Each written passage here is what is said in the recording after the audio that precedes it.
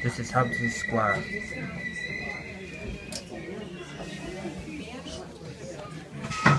Five plus eleven.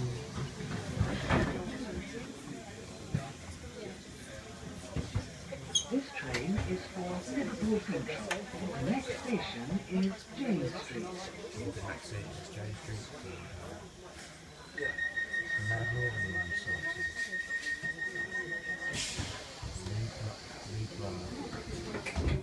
Leap, Northern Line sorted.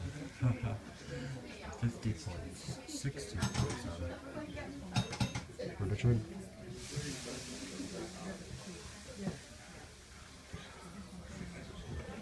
The train coming. Oh yeah, there's a train coming.